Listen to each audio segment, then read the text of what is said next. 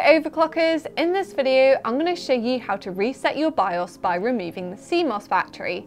This is ideal if your PC is stuck on startup and you can't reset the BIOS by accessing the inbuilt menus.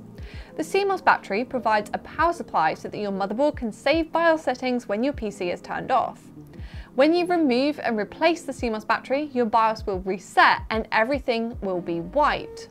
It's a very simple step that can help solve a wide range of problems related to overclock settings, incompatibility and hardware issues.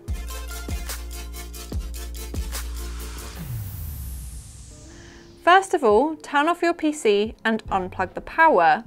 Then you want to remove the side panel and locate the motherboard. This is the large flat component that everything is connected to. Then within the motherboard, you'll need to identify the CMOS battery.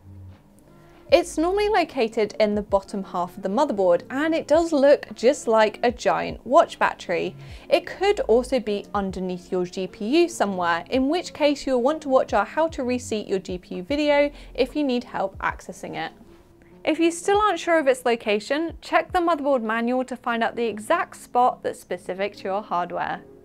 Now you will want to remove the battery, wait several minutes and reinstall the battery into your motherboard.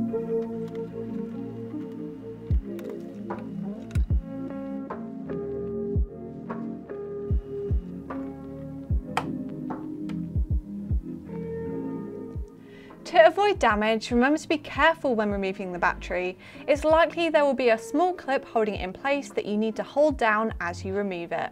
If you've had the same motherboard for around 5 years, you might want to replace it with a new battery rather than simply reinserting the old one.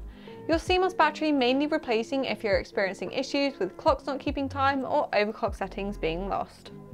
That's it, you've successfully reset your BIOS. Now you can plug your PC back in, turn it on, and hopefully this solved your issue. If it did, make sure to give this video a thumbs up and hit subscribe.